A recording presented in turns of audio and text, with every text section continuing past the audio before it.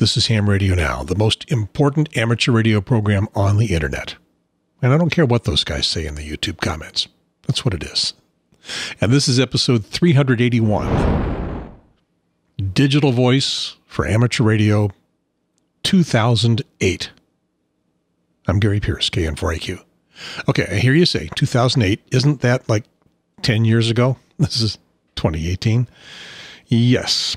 Well, before there was ham radio now, there was ARVN, Amateur Radio Video News, the documentary production unit that I started when I was making DVDs before I discovered, I guess before I discovered YouTube, or at least before I could use it effectively.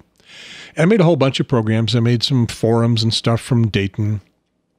Um, but I made three serious documentary programs um, back in back in those days, somewhere between 2004 and when I started this in 2012.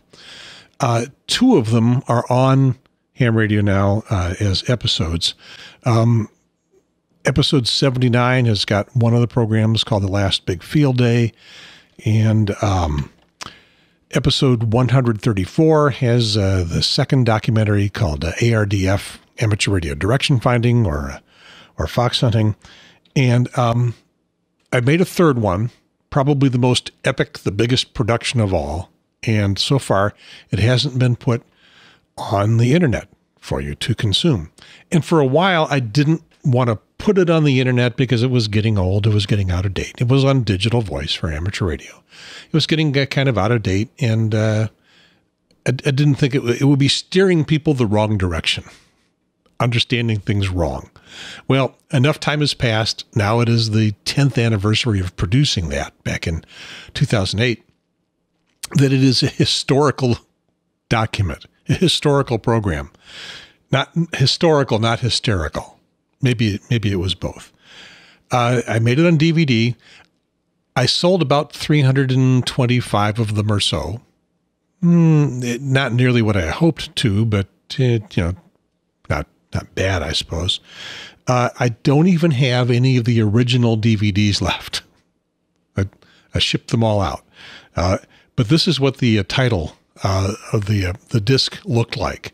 Um, the, what the cover of the of the DVD look like. So that's if if if you're one of those people that bought one, you have a historical item that I don't even have anymore. So um, it is something that I thought now it has got some history to it. This is, I think, the only uh, video program that anybody's ever made that delves into the origins of digital voice, both on HF and on uh, VHF UHF for uh, for amateur radio. And I thought, well, before I leave this ham radio now thing entirely, and as you know, I'm on my way out, handing things over to David Goldenberg, W0DHG. Before I leave entirely, I better get this online. And uh, for those of you that are fairly new to digital voice, you can see something of where things started. So this is the uh, the program. Well, this is this is me. Let me give you a split screen of me and me, um, about ten years apart pretty pretty cool. a little bit more hair on top of my head then. Uh, so I, I, made the program in um, three parts. I did an introduction, and then I did the HF stuff, and I did the uh, the VHF stuff as separate programs on the DVD. I'm just going to run them all together now for you. And you have control. You've got the pause button and the fast forward and all that. You can pick whatever you want. But they were designed to be um, the introduction and then then either one of the separate programs worked out to be about as much as you'd want to play in a ham radio club meeting. These were sort of designed to be programs at ham radio clubs. So the first month you would play one of them, and then the second month, if everybody liked the first one, play the other one.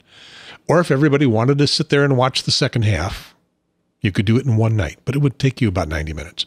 That's what you're in for now, depending on how long you want to sit in front of the tube. Uh, I, I, think that's all I've got to tell you in, in advance. Well, I took two big trips to uh, to put this program together. I took a trip that went to, to Chicago and St. Louis, and I took a trip that went to Alabama and then finally out to Dallas.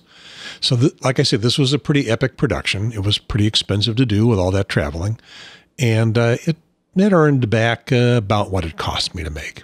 Once again, one of those I don't make any money off of this in terms of uh, profit. It, you know, paid its expenses. So, um, tell you what, let's uh, let me rewind this uh, back to the beginning and uh, quiet. And uh, if I can, there we go.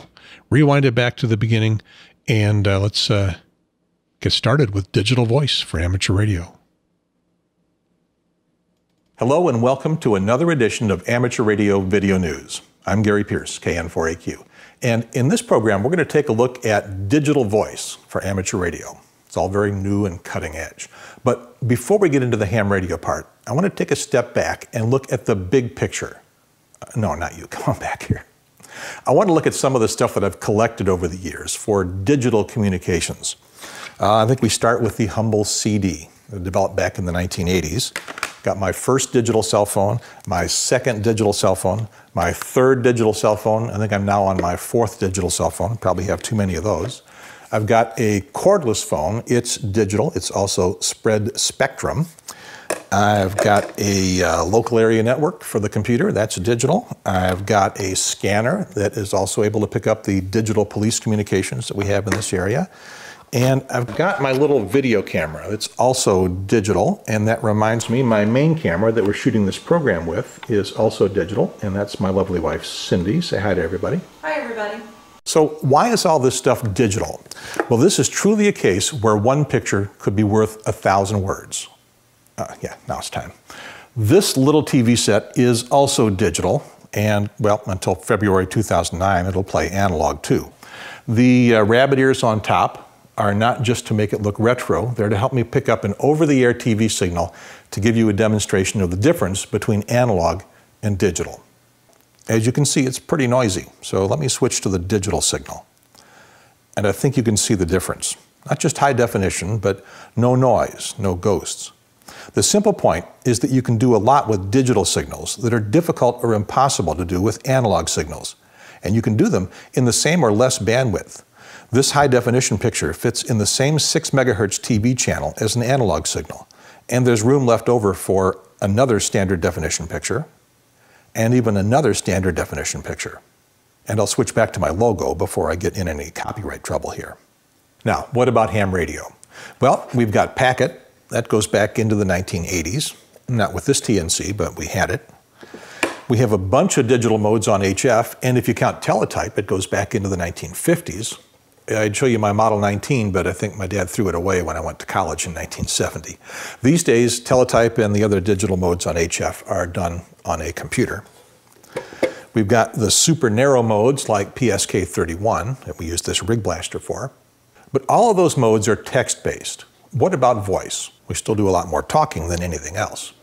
Well, a lot of rigs have DSP, that's digital signal processing, in their IF and audio sections for voice and other modes, mostly to help clean up noise. But until recently, there hasn't been any digital voice sent over the air. That's changing. The first modes for digital voice are here now. And I wonder, how much do hams know about them?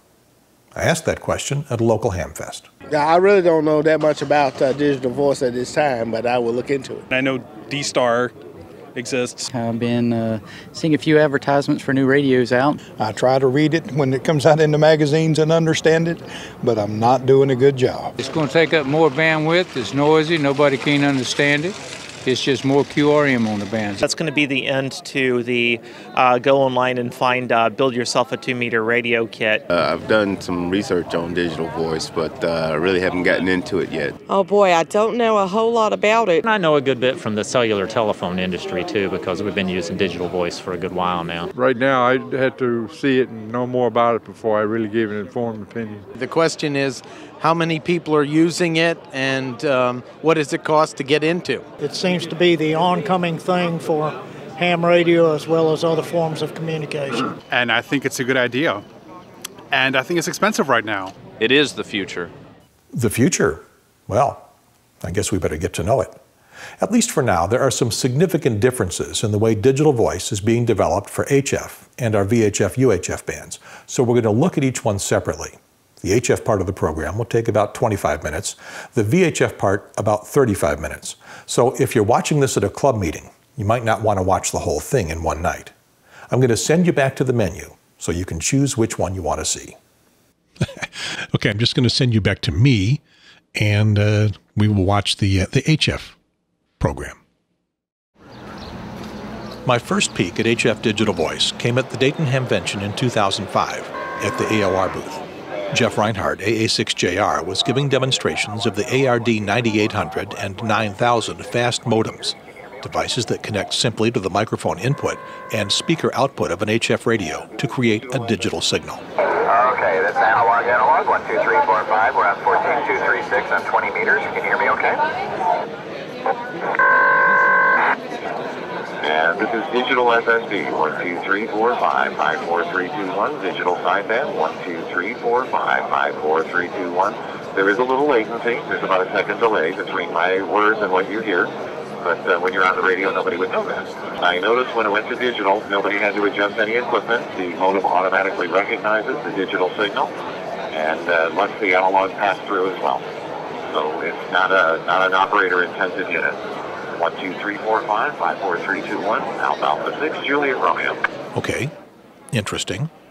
I wasn't expecting that delay. Jeff explained that when you push the transmit button, the modem has to spend about a second sending those synchronizing tones, and it buffers your speech until those are done. But here's the $64 question Why do digital? In a forum at the 2007 Hamvention, Jeff explained. And clarity.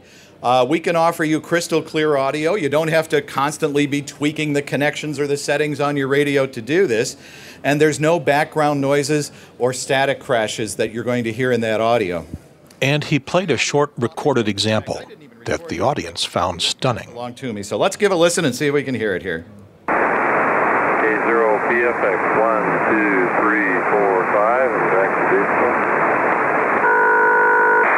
3, 4, 5, and back to digital. 1, 2, 3, 4, 5, K0 PFX. Now, did you hear the background noise come right back up on that? He also admitted a reality of digital HF at the bottom of the sunspot cycle. And digital needs signal. S5 or better. Now, I want you folks to burn this one into your head today, okay? There's two rules that I come away with in this world digital needs signal, and ice cream melts, okay? Those two don't ever change. So repeat to yourself in your head ice cream melts, digital needs signal, okay? That's just, it doesn't matter which digital mode that you're in, it needs signal. Actually, it's only the high frequency digital voice modes that need a fairly strong signal. The VHF UHF modes that we'll look at later work down to near the noise level. By the way, the uh, voice you heard booming through in the demo that Jeff played was Mel Whitten, K0PFX.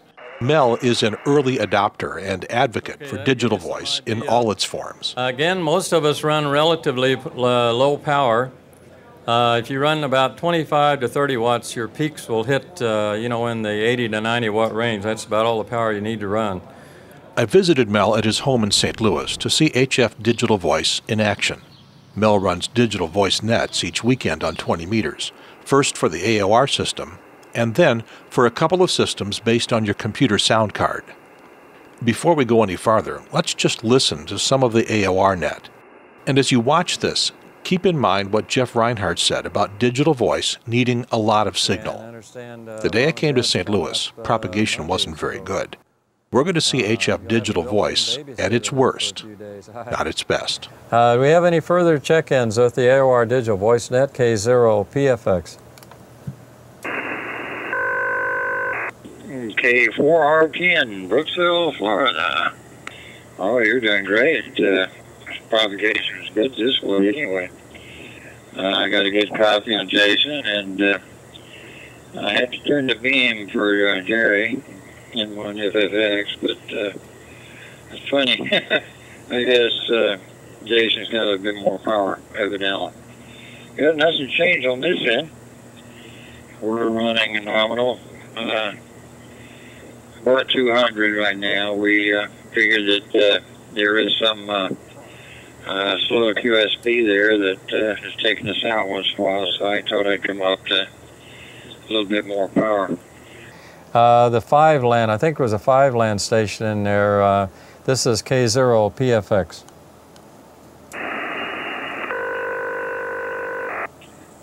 K0 PFX, this is November 5, Bravo Zulu Alpha. Name is Wayne. I'm in Paducah, Kentucky. You're loud and clear on this end. Back to you. November 8, Golf United, N8GU. Name here is Bob Oscar Bravo. Located up here in Plain City, Ohio, near Columbus, Ohio. This is the first time I've ever used this thing since I um, bought it over at the Newton Hamvention. So I'm hoping you guys will let me know if I'm sounding okay. Got connect control from November 8 Golf United. You can hear some artifacts, but those signals aren't too bad. I'll confess that I picked some of the better transmissions for those examples. But here's what it sounds like when a signal doesn't quite make it. Uh, K4RT and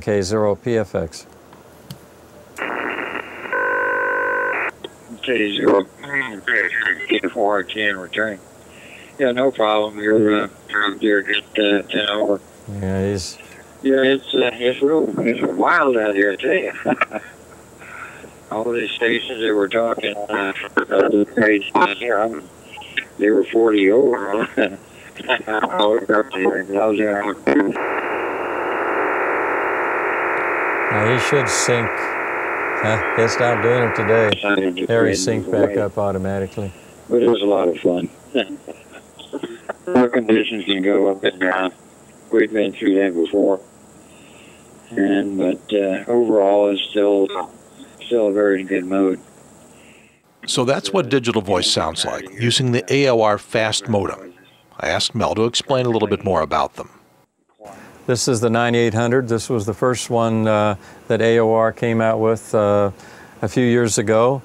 It has its own microphone, which uh, works quite well. Uh, even W2IHY said it had good audio, so I was quite surprised with that. But the microphone plugs right uh, directly into the modem, and the output of this is cabled uh, to the input of the radio, and that's that's all the connections you need, other than the encoded uh, data is uh, connected from your speaker uh, to the input of the uh, AOR. Most of the time, it's just plug and play. Turn up your audio until the LED quits blinking here, and uh, you're ready to decode. And for transmit, it's just a matter of squeezing the microphone. It sends out a sync tone and the other end receives a sync tone and you're immediately on uh, decoding uh, digital voice.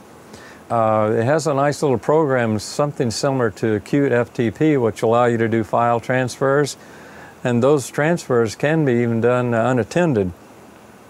It also has uh, digital picture capability. You can plug in a camera in it or any uh, device that has NTSC input, push this button here, and it will capture the picture push the button again, and it transmits the picture. So it really simplifies uh, slow scan, and it's a progressive slow scan, uh, very similar to the early uh, analog slow scan. So you see the picture uh, as it's being done. The AOR 9000 is just a, uh, a modem for digital voice uh, only, and it's much lower cost, smaller, and it can even be battery operated. It's very low power modem. The 9000 is a few hundred dollars, the 9800 a little bit more. But if you have a computer with a sound card in the shack, there are some free programs that let you get on digital voice for almost no extra cost.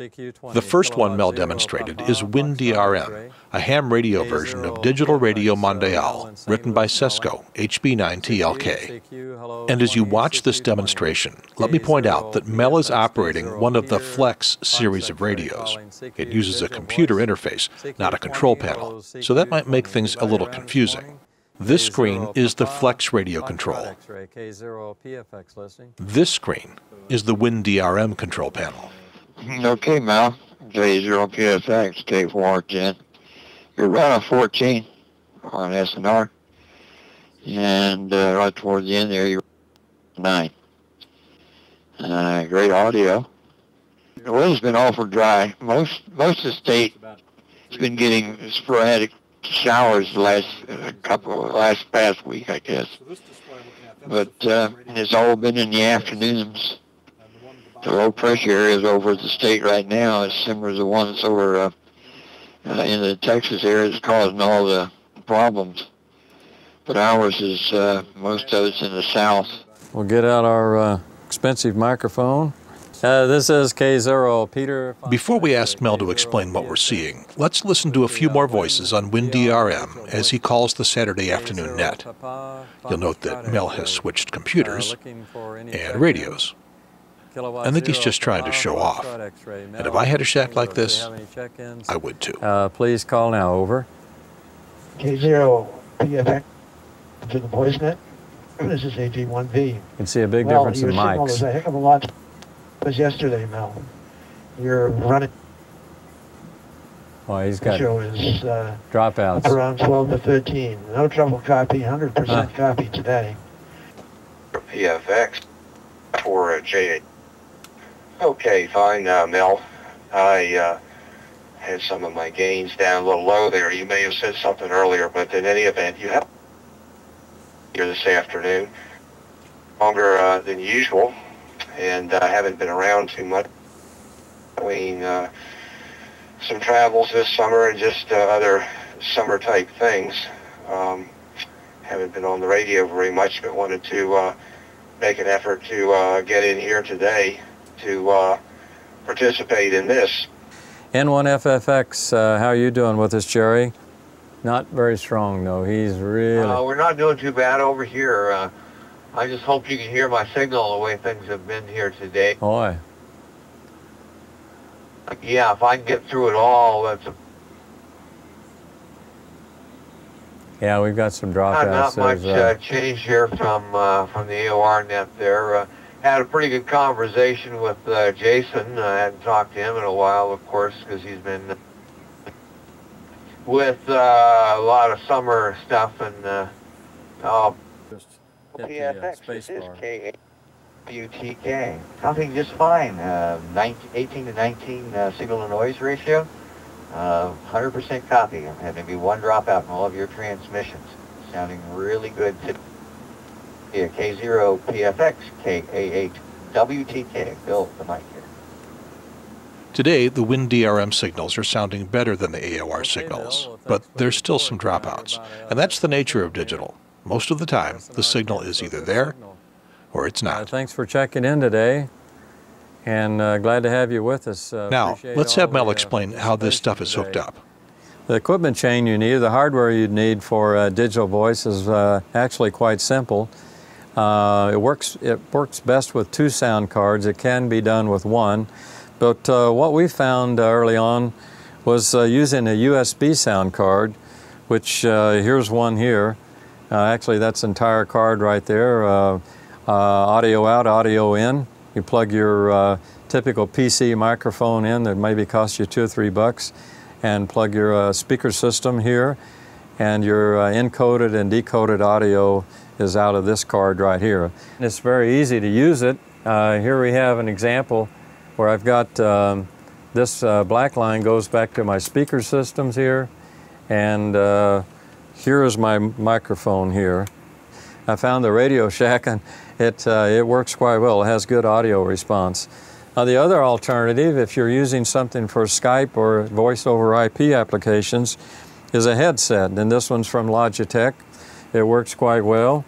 You can see it's plugged in uh, over here on this computer. I'm, I'm basically using one computer for HF and the other one for VHF. It just plugs in. And when it's plugged in, uh, WinDRM automatically sees that as a sound card and then you uh, select it in WinDRM. So the, uh, the setup uh, is fairly uh, easy uh, to do. The interface to the indigenous card does go through a uh, rig blaster or equivalent interface so that we make sure that uh, we avoid any ground loops, any noise pickup. And this is typically used for Digi- Digipan, for example. If you're set up for Digipan, a very popular digital program, then all you need is a little second sound card or a headset, plug those in, and uh, load the program, set your levels, and uh, you're ready to go on uh, digital voice. Again, the HF rig can be, uh, the Icom 706 is very popular radio. Its band pass is great. You need 2.5 kilohertz. and you, the carriers, there's uh, up to 55 carriers that carry this uh, audio at a very slow baud rate, and that's why it works so well on HF. And as a result, the bandwidth uh, needs to be 2.5 and a nice and flat, no equalization, and no compression, and so forth. Yeah, Jerry, uh, N1FFX, K0PFX. Digital voice is a work in. Uh, progress. It probably always will be, with the goals uh, of better weak signal performance while maintaining good audio.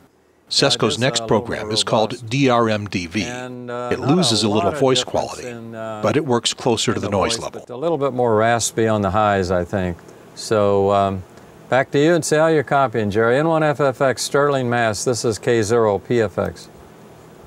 Okay, Mel, yeah, I can understand if you have to swap cables around there and stuff. Yeah, we're running version 1.3, uh, 1.43R, yeah. It's a, uh, so, um, I guess that's the latest one out there, the R version. The whole key to this is this signal to noise ratio over here. Um, a little bit of the audio. 14 is really good. Okay, uh, very good. It'll work uh, around well, 6 to 7. I don't know how much of my uh, You can see here the there. Um, but, there's some uh, I multipath, what they call notches in the waterfall. I already And there he had a dropout. must have doubled with you somewhat there. Uh, K0 PFX, this is N1 FFX. Very good. Uh, Gary wants to see some sideband so we can get some comparison. So uh, if you can, come back to me in sideband and I'll switch over uh, do the same here. Uh, uh, please go to sideband. K0 PFX over. Turn the mute off. swap uh, my cable There here, uh, uh, but um, uh, using the uh, regular Yaesu mic here now. I would like to, uh, well, at some point, maybe uh, get something that's only about six inches long and uh, uh, about 20 feet there. Uh, K0 PFX and N1 FFX, go ahead. Uh, hopefully the signals come back up again here. Um, I won't hold it too long here in case it hasn't. Although with this mode, uh, there is one nice thing. If you drop sync, it will come back again when the signal comes up, uh, unlike uh, uh, some other modes. uh, oh, PFX, this is N1 FFX. Now, let me run through a few more quick points about HF digital voice. The first is latency, which affects turnaround time. I've edited this video so that things happen fairly quickly, but in real time, it takes a second or three to start up and stop a digital voice transmission. Well, back to you and see, uh, see how our signals are holding up down there in Florida. K4RTN, this is K0 PFX St. Louis. The AOR system is faster than WinDRM, but fast push-to-talk and Vox aren't really practical yet. Getting hams to slow down can be a challenge. Uh, see, he's, he's sending his uh, ID right here in the waterfall. And a lot of times we do that so other people can tell, uh, you know, we're in there and who, who it Okay, is. Mel. K0 PFX, K4 Jen. Next is the potential need for channelization. You can't overlap digital voice signals the way you can with sideband. Digital voice doesn't tolerate interference very well from analog signals or other digital signals. A competing signal can make your receiver just go dead. And, uh, one, two. He's been hit by that carrier really bad. So, if you had several digital voice conversations going on at once, they'd need to be spread out carefully across the band, maybe by dedicating channels the way we do on VHF FM. This is slow scan. Today, there's only one channel in use, 14236, just above the analog slow scan signals on 14230 and the digital slow scan on 14233. And finally, there's a problem with digital voice signals not being recognized by sideband operators. Yeah, this is what it sounds like if you're uh, tuning across with a uh, analog radio.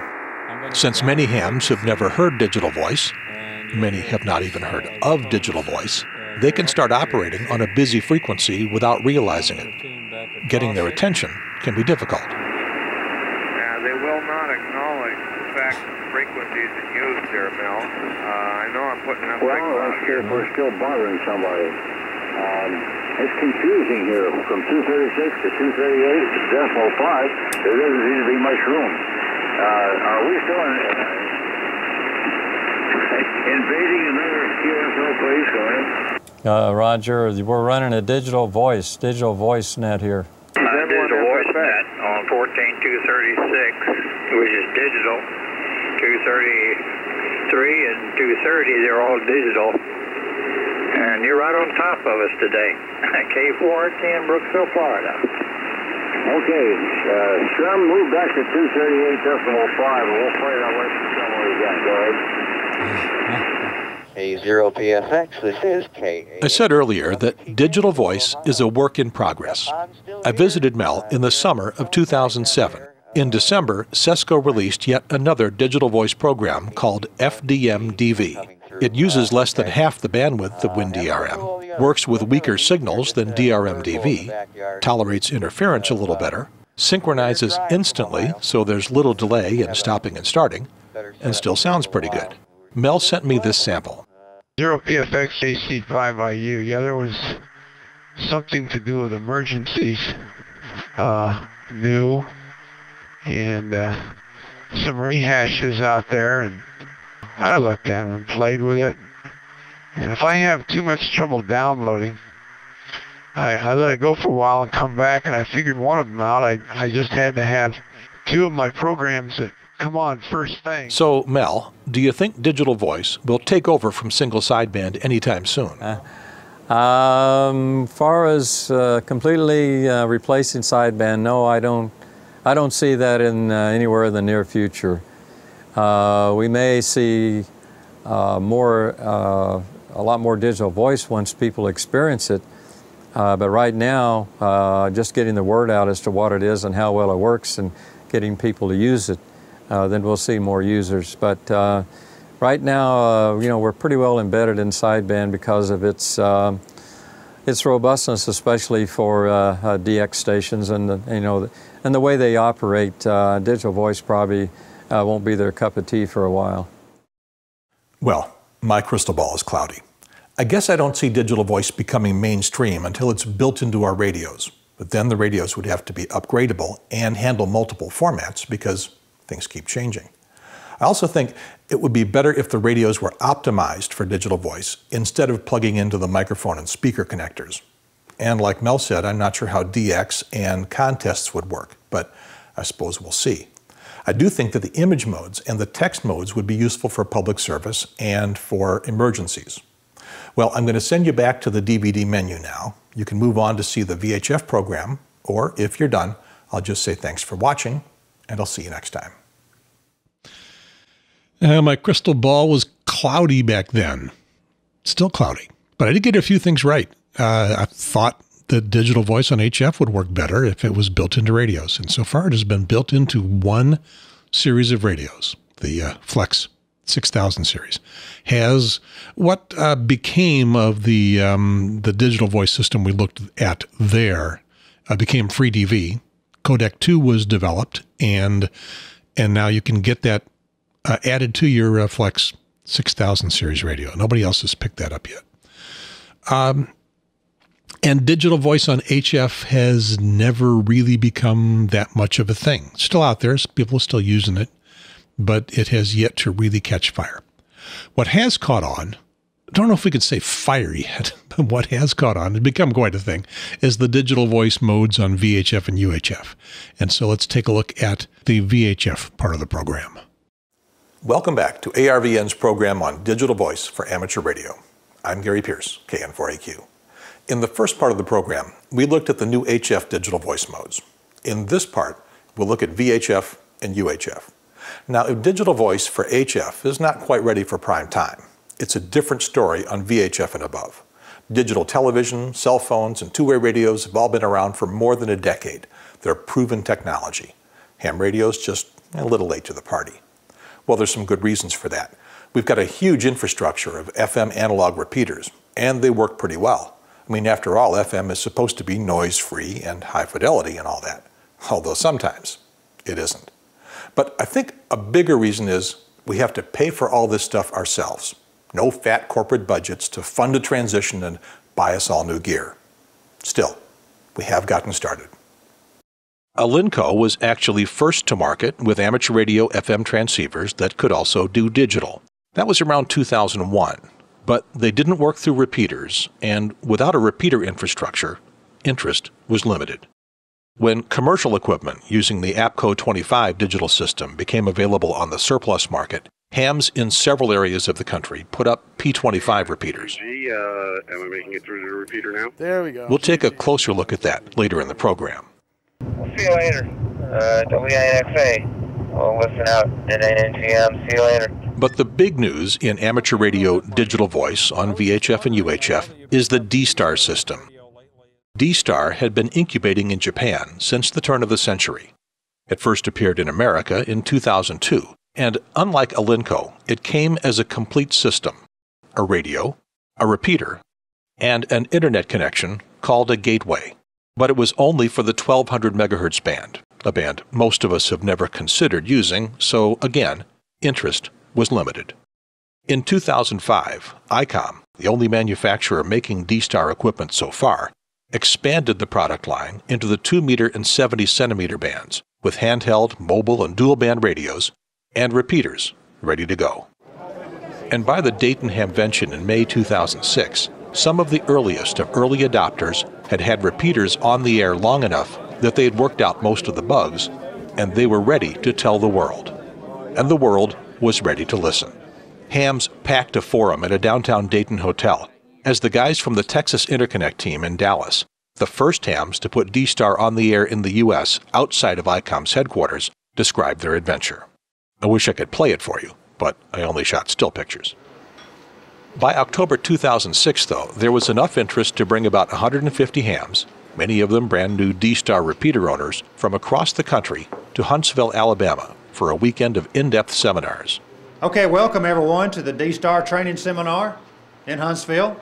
It seems that running a D-Star uh, repeater is uh, fairly complex, and a little education is required. The other thing to remember is we talk about the repeater syncing up with the trust server every night every gateway syncs up with every other gateway. Well, bless these guys. But this video isn't so much about them. It's more about you, the potential D-Star user. If not today. I've done some research on digital voice, but uh, really haven't gotten into it yet. Well, maybe someday. Mm, maybe. It's, I think maybe just a big fan going through. okay, Curtis. Let's see what's in it for you. To find out, I took a road trip and visited some of the people who put up D-Star repeaters. The guys in Dallas, Alabama, Chicago, and St. Louis. It's going to be a while before they get up. Now, before I yap anymore, let's sit back and listen to some D-Star in operation. Doing fine, just uh, playing with the uh, 91AD a little bit and uh, trying to decipher some of the messages as they scroll across the bottom of the screen. Well, how are you coming with that project? Not making a lot of progress. I need to uh, I need to get serious about it and work on it a little bit harder. This is too nice a day to be inside, though. I agree with that. It is uh, too nice a day, and I'll probably wrap this up pretty quick. But uh, go outside and enjoy the the nice uh, nice spring day. What you can probably already tell is that D-Star sounds a lot like FM. What sets it apart is what's missing. There's no noise, no mobile flutter or picket fencing. Like its high frequency cousins, D-Star digital voice is generally rock solid or it's gone. Yeah, a few warm days like this, and uh, some of the grasses will start budding out again, and that'll be pretty nice the next few weeks. There are some other things you don't hear no repeater hang time, no repeater IDs or announcements, and no auto patch.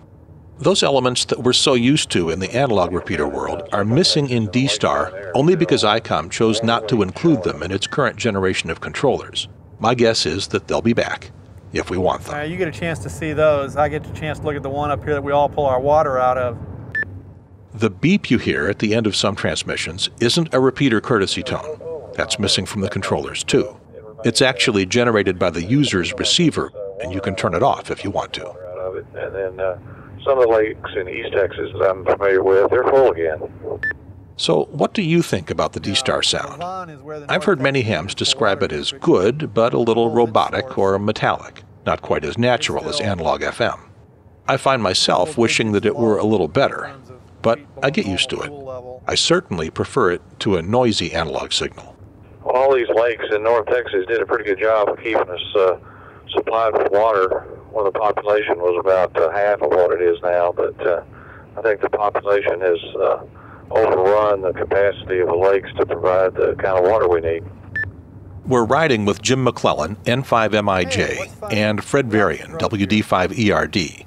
Jim's the one doing the talking, and we'll see more than the backs of their heads in a minute. We're on our way to downtown Dallas to meet Bill Moore, N5ZPR. Yeah, Bill. I'm uh, in the parking lot. Together, they are the Texas Interconnect team, and we're going to take a look at the D-Star system they built. It's on top of one of these downtown skyscrapers.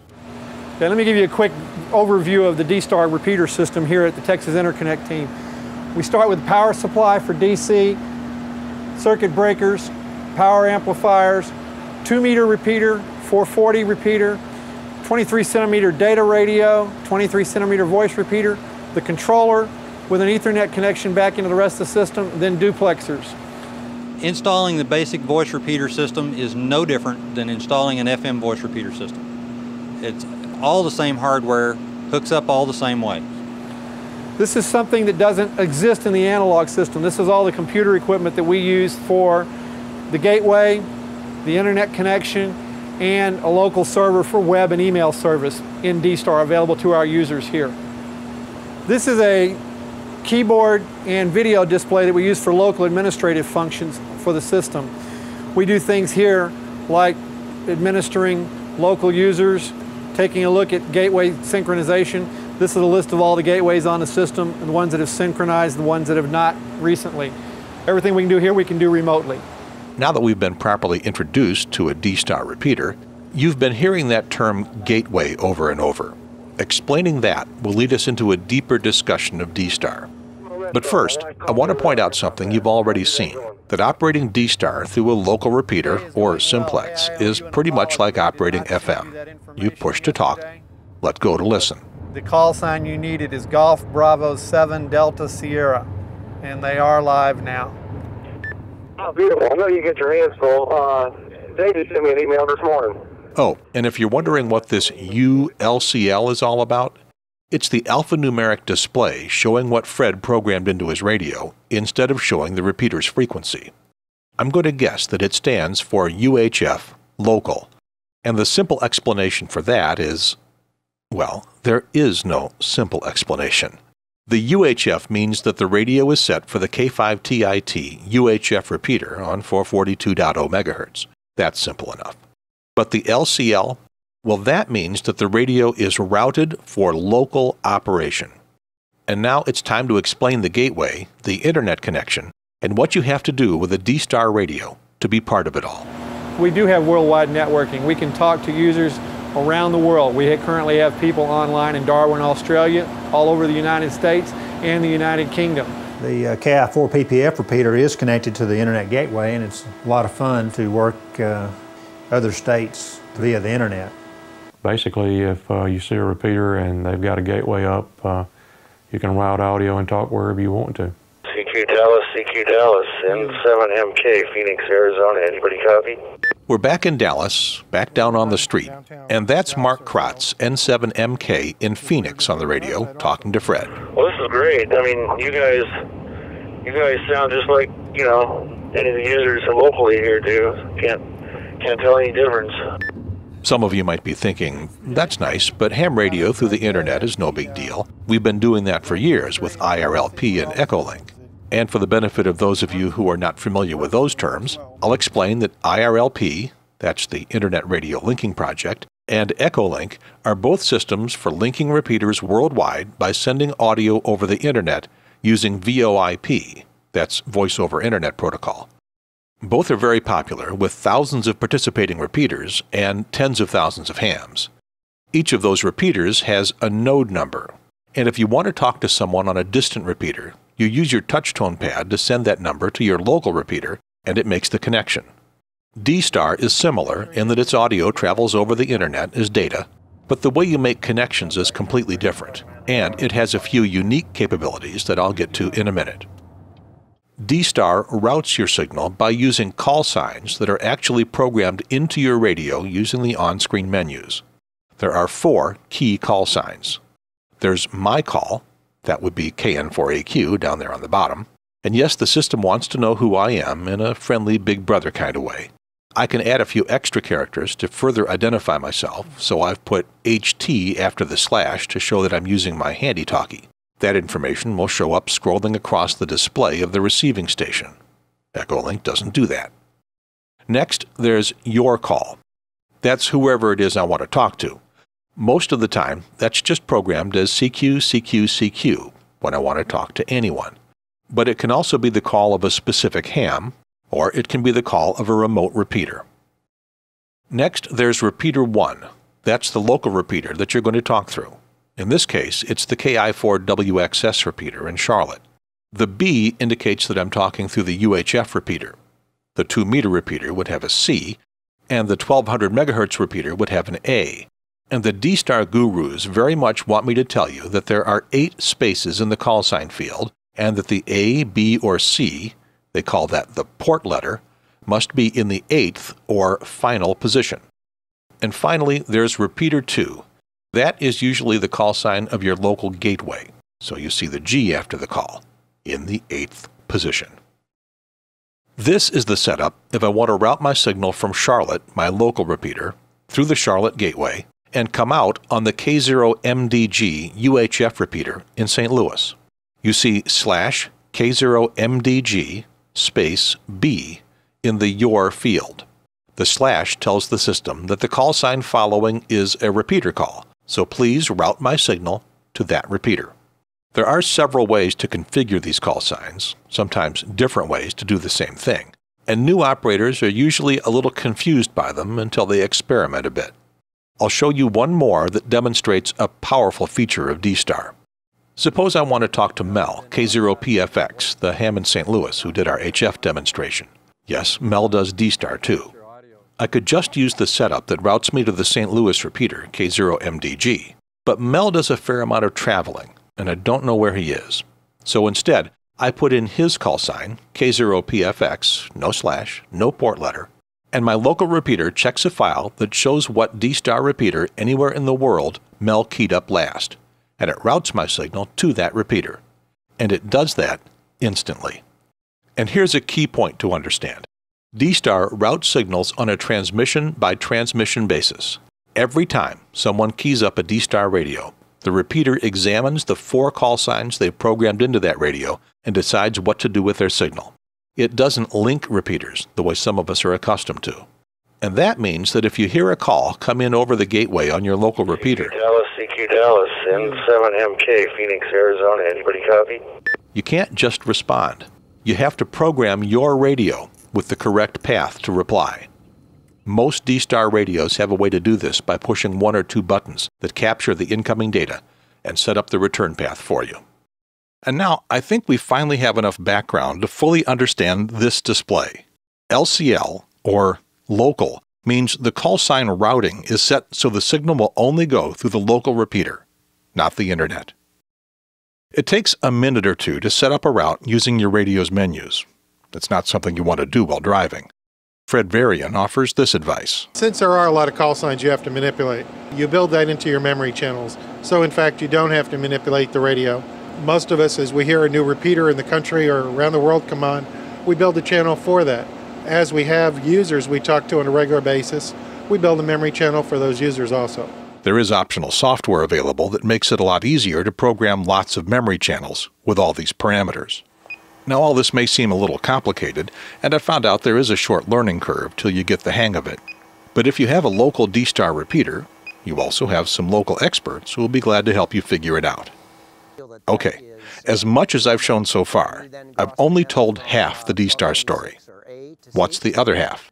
D-Star has uh, two data modes, a low-speed data mode and a high-speed data mode. We can run 128 kilobaud on 1200 megahertz using the ID1 digital radio system. In fact, at the back of the radio there is an um, RJ45 and it is an Ethernet port, would connect directly into a laptop. You can actually, uh, you know, get on the internet through the um, the data uh, device on 1.2 gigahertz, and um, you can have a laptop in your car and just pull up a web page. Right. This is something that has gotten emergency communications managers excited. A relatively high speed Ethernet based data system, basically the internet or an intranet, that works wirelessly for miles with no other supporting infrastructure.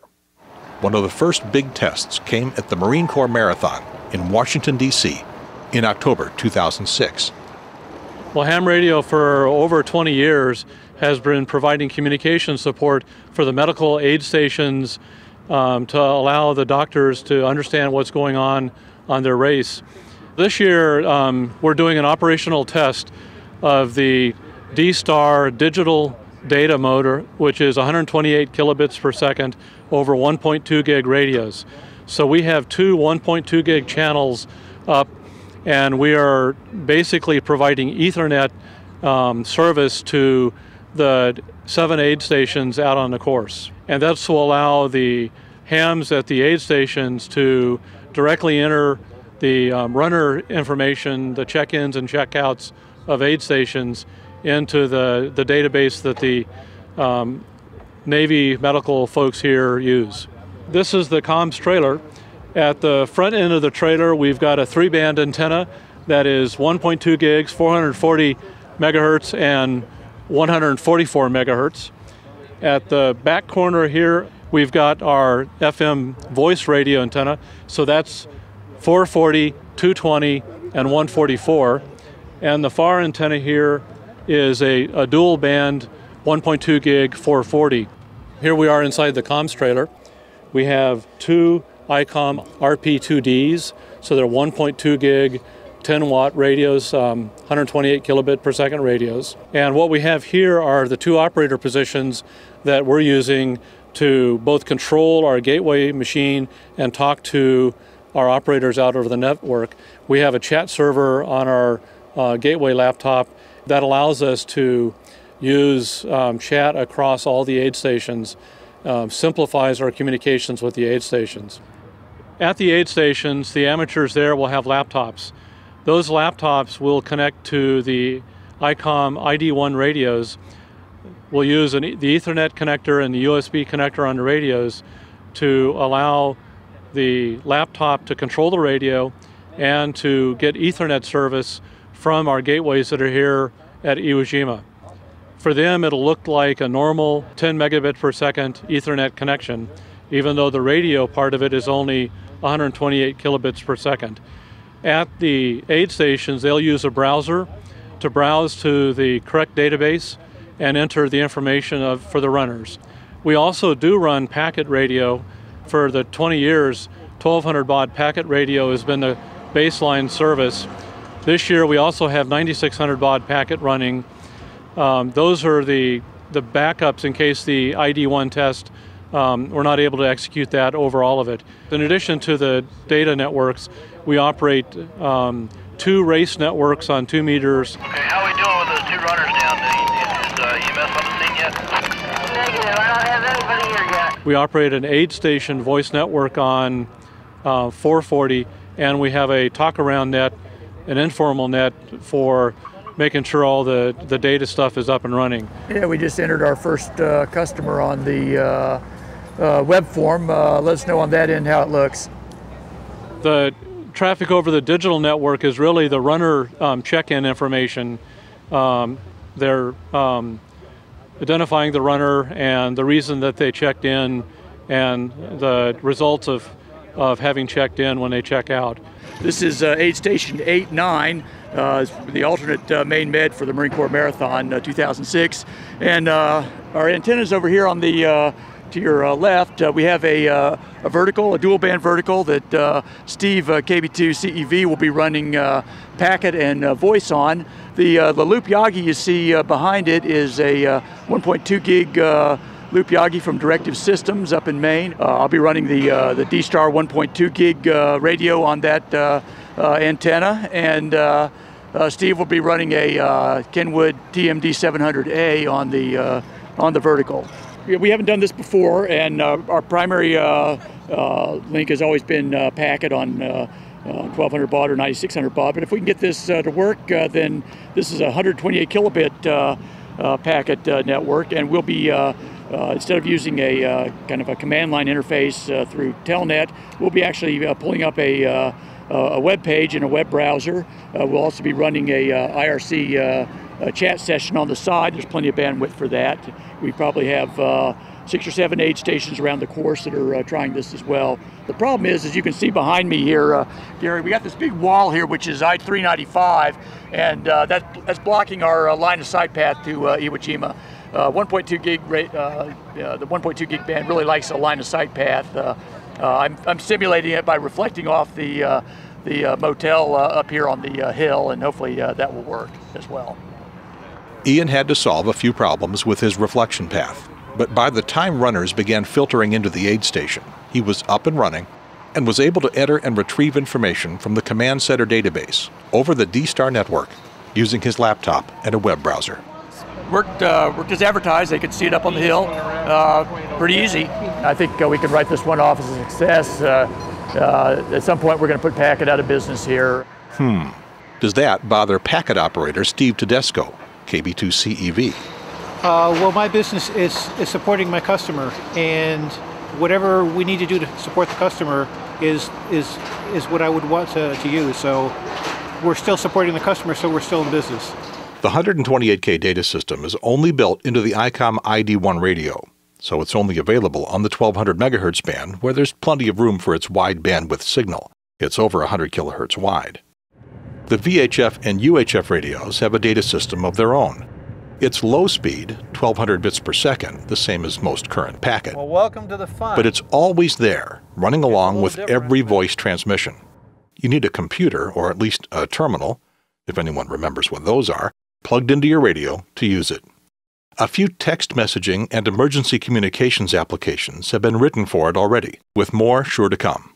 This data passes right through repeaters and gateway connections. We can send basically email slow speed type uh, communications, which is good in, in the emergency environment. If you wanted to send out weather bulletins, he did a copy and a paste on a weather bulletin and sent that to me. And it's uh, computer to computer, if you will, in the background, even while we're doing digital audio uh, voice. Yeah, good morning to you. I'm going to wrap up the D-Star segment of the program with a few more quick notes. First is weak signal performance. The range is almost identical between the digital and analog repeaters. Digital gives you a little bit better range, a little bit wider range. What you're going to hear on D-Star is crystal clear reproduction of the voice with that D-star timbre to it out until the signal finally disappears. An analog signal will gradually get noisier and noisier and then fade away. The D-star is uh, just full quieting all the way to the end of the, the coverage area and then just drops out. Watch the S meter drop to zero as this signal remains what we'd call full quieting until it drops out have a longer chat. So please enjoy the rest of the day there, and if you're off for the weekend, have a good one. 73 Ira, nice speaking to you. Sometimes, though, weak D-star signals don't just drop out. They begin to garble as the error correction system fights to put syllables back together and just can't make it. Some D-star users call this R2-D2.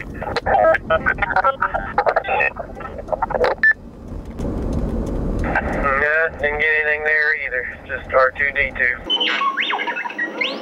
Next, D-Star has some GPS compatibility.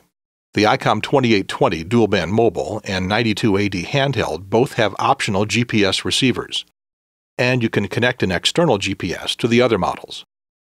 The 2820 and 92AD can graphically display the direction and distance to other D-Star radios that are sending position information, while the other radios can display coordinates. A program running on the gateway computer relays these position reports to the APRS network. But let me point out that D-Star data is not compatible with Packet, so D-Star can't be used directly on any Packet or APRS network.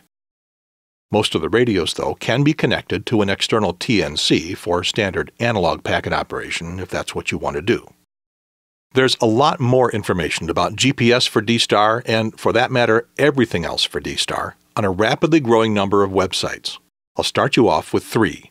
ICOM's website, icomamerica.com, is a good place to start, not just for product information, but also for the forum section they've dedicated to D-Star. The Texas Interconnect Team site, k5tit.org, also hosts forums with lots of help for new users and repeater owners. And this site, dstarusers.org, has lists and maps of all the D-Star repeaters and instant lists of all the users who've keyed up a gateway connected repeater on the worldwide network. These lists show that, while D-Star hasn't caught up with IRLP and Echolink, the number of repeaters and users is growing quickly. One of the things that, that I thought was lacking from a lot of the Yahoo groups I saw is that even if they had a large membership, they didn't have a lot of information. A lot of things had to be asked over and over again. So one of the things that I did in my Yahoo group was to go out uh, looking for and collecting uh, information about all of the digital modes, HF, VHF, digital voice, data, and now I have dozens and dozens of files and links on this Yahoo group so that if somebody does want to get on and, and do it, either learn more about a digital mode that they, they haven't used before or learn more about mode they're already using, there's likely a link or a file that, that they can look at. One technical subject I haven't discussed yet is bandwidth. The D-Star digital voice signal is a lot narrower than the analog FM we use today, about 6.5 kilohertz for D-Star compared to 16 kilohertz for FM. That means more D-Star repeaters will fit in a given amount of spectrum, though there's a lot of debate about just how narrow a D-Star channel can actually be. The Utah VHF Society has a good discussion about that on their website, with lots of research and documentation. Their conclusions, 12 kHz minimum channels, are more conservative than some other repeater councils that are pushing 10 kHz, and a new digital commercial system similar to D-Star, developed by ICOM and Kenwood, that recommends 7.5 kHz. Frequency coordination groups are working on integrating D-Star into their band plans, and it's important because in most areas of the country there aren't many or any repeater channels left to coordinate especially on two meters. It's been said we could put at least two repeaters in the same place we could put one analog channel, uh, perhaps even more. But but I think uh, for right now we've we've got some uh, some techniques to where we could, in a few instances, with a proper separation, uh, be able to put these repeaters between 20 kilohertz channels uh, with at least a 50 mile separation is what we've suggested and experimented with, and so far that's working very well. Finally, everyone wonders when and if any other manufacturers are going to start making D-Star equipment. So far, ICOM is the only one, but anybody can. The only proprietary component is the AMBE or AMBI 2020 vocoder chip, and anyone, manufacturer or home brewer, can buy them. Of course, someone may announce a new product the day after this video is released, and if they did, you probably know about it. But as of now, I can report that there is a growing aftermarket in D-Star add-on products. One of them is the DV dongle. This device contains the AMBE 2020 vocoder. It plugs into a computer USB port and it allows you to use your computer to talk through D-Star repeaters over their gateways. The biggest complaint I've heard about D-Star is that AMBE vocoder. Some hams think that the JARL should have chosen something completely open source. A problem I expect we'll hear more of is this. When you listen to D-Star or any other digital mode on an analog receiver, you hear something like this.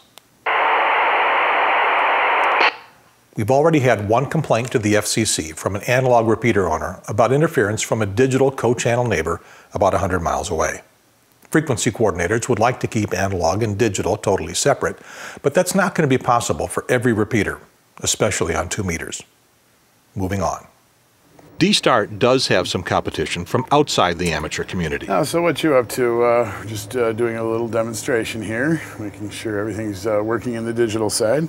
I mentioned P25 earlier. It's also known as APCO 25, the digital voice standard that's used for public safety, police, fire, and EMS. P25 has been around long enough that the first generation of equipment is being replaced.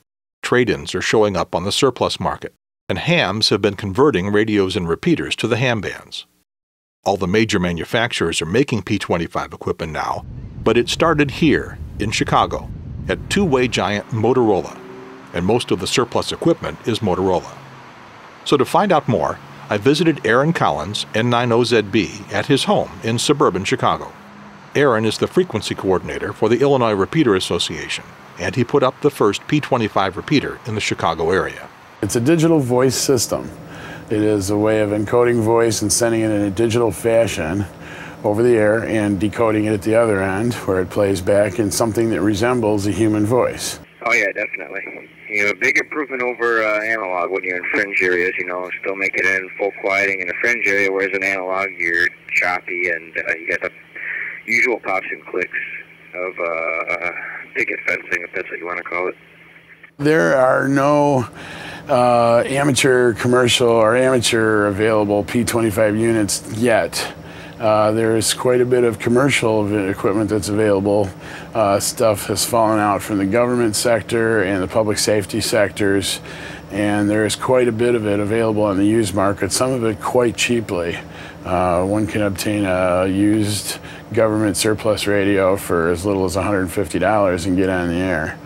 These radios were originally priced in the $1,000, $2,000 range, but uh, their losses are gained, so to speak, and the stuff is showing up all, all the time in the used market, dirt cheap nowadays. APCO Phase 1 is pretty much what everybody's using nowadays. In the narrowband, the 12.5 kilohertz configuration, you only have one voice or one data channel. And now the new Phase 2 stuff is going to fit completely within 6.25 kilohertz channel. So it'll have an ultra ultra narrow band mode that's similar to the D-Star's new 6.25 kilohertz ultra narrow mode. It's on the verge of being implemented commercially if it hasn't already started to be, but there has not been any fallout into the used market of any of the Phase 2 stuff yet. So Phase 2 makes P25 sort of a question mark for hams. Still, some hams prefer using converted commercial equipment, sort of like we did back in the early days of FM, because that's all we had. A friend of mine loaned me this Johnson P25 portable to try to spur my interest. It weighs about 50 pounds, and it's almost as big as my 1970s vintage Motorola HT220. This is my pride and joy back then. Well, the technology in here is advanced, but it's still pretty big and heavy compared to today's ham radio equipment. You know, I don't think I've mentioned that all the D-Star radios, and all the P25 radios for that matter, are dual mode. They work both analog and digital. All the P25 repeaters are dual mode too, but the D-Star repeaters are only digital. Which brings me to my final point. How worried should you be about your analog radios becoming obsolete? Are you going to see your local, you know, club's repeater change overnight into an all-digital system? I don't think so. No, I don't think so. I mean, if you look at it, all of the repeaters on the air right now, almost probably 99.9% of them are analog FM. It's just like CW, uh, it's just like AM. FM repeaters will still be around for the long haul. We're repeater builders and we grew up with the FM and analog systems and it sounds great and it'll be there for a long time. I don't see it just replacing analog in any sense. I think the two technologies will coexist for quite some time and will have advantages on each front. Digital won't replace analog anytime soon probably, but it's but it will be the wave of the future for amateur radio. Or as Kermit Carlson, W9XA, put it, Any similarity between this system and the Field of Dreams is not coincidental. We have built it, and they have come. And that's it for another edition of Amateur Radio Video News. I'm Gary Pearce, KN4AQ. Hey, this was fun. Let's do it again soon. this was fun. Well, uh, they were right. It has not replaced uh, analog FM. Not yet. Probably not for a good long time. But we've got all those new modes. We got, uh, you know, DMR, which had hadn't been developed as this program was uh, was produced ten years ago. Now it's around. C4FM, of course, was brand new. P25 uh, has turned out to have gone almost no place in amateur radio. There are some P25 repeaters, but they're not, in terms of qu- a quantity of repeaters and the, number of hams using them, they're not up there in the uh, uh, in the uh, competitive arena with uh, D-Star, C4FM, and uh, and DMR. All right, that is it. History on YouTube. if you enjoy the this ancient program, it would have cost you 25 bucks as a DVD. You just watched it for free. Unless you want to stop by hamradionow.tv and make a contribution, you can click on ARVN's icon and uh, uh, and send us some money. And that is it for this episode of uh, History on Ham Radio Now, digital voice for amateur radio. I'm Gary Pearce, KN4AQ. And even though I hadn't begun saying it on those programs, I will now. Over and out.